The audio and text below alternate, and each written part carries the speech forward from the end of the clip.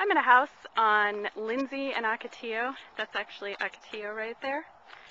It's a super weird house. Just wanted to give you a quick little virtual tour of it. There's no dog, don't worry. We're not going to get eaten. Um, so this house is 3,100 square feet. That's the house. On 1.4 acres in Gilbert. It's lender owned and it is on the market for 325. It just came on yesterday. Um, that right there is a playhouse that is not completed because the inside doesn't have insulation or drywall or anything, but it's two stories and it's got like a slide in it and it's a tile roof and a stucco exterior. It's super odd. Um, I believe that this house was constructed to be a horse property house and the people who bought it ran out of money and ended up going into foreclosure.